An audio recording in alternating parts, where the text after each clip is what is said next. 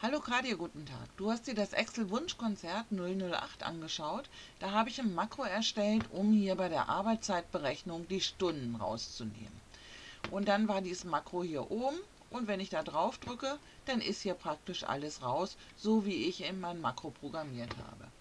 Ich gehe hier nochmal raus, ohne zu speichern, damit ich hier meine Datei gleich wieder habe mit den Zahlen, dass ich sie nicht immer neu einsetzen muss. Du möchtest nicht hier oben die Schaltfläche haben, du möchtest hier einen Button haben. Auf diesem Button steht vielleicht Löschen.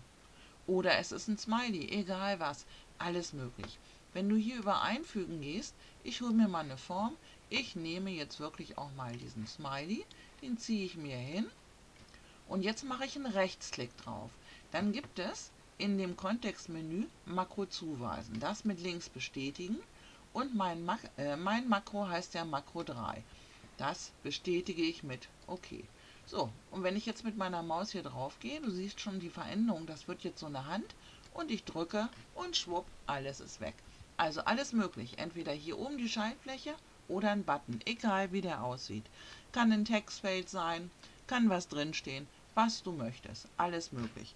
Kadir, wenn ich dir helfen konnte, würde es mich freuen über einen Daumen hoch. Danke, tschüss.